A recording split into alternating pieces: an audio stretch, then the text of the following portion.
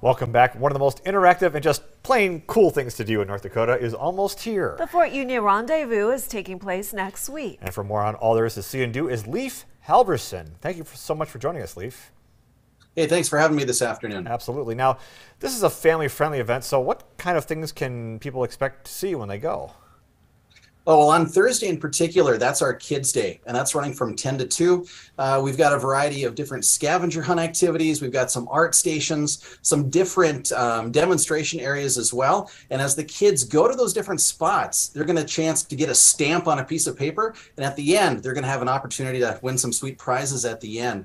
But it's not just for the kids. We've got activities going on for people of all ages and sizes to enjoy as well, too, inside the uh, rendezvous area, as well as inside the fort uh, structure itself as well. Fort Union ran for 39 years. It's actually the longest lasting fur trading post in all of the United States. So we've got some pretty special history taking place here in the Confluence area. Gets built in 1828 by John Jacob Astor's American Fur Company and then shuts down, unfortunately, in 1867, just a couple of years after the end of our American Civil War. And here it's located at this spot at the request of the Assiniboine tribe. They say, Will you build us a fur trading site?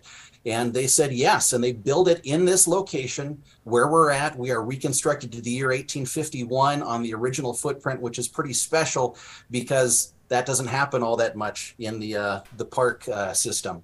We're going to see blacksmithing. We'll see some people doing some different fur demonstrations, uh, pottery making, frontier living, cooking, things of those nature is going to be taking place as well.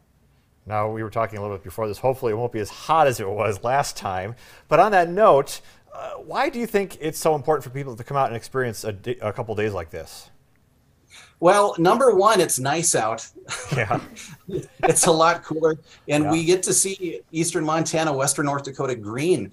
Uh, but along with that, there's a lot of rich history right here in our own backyard that oftentimes people will drive by, they see the location, but they don't actually stop in to, to see what's going on. So uh, now is a perfect opportunity to do that. School is out, uh, it's nicer weather, um, and this is a great way to spend an afternoon with your family, uh, seeing the things and learning about that rich culture that we've got here in the area.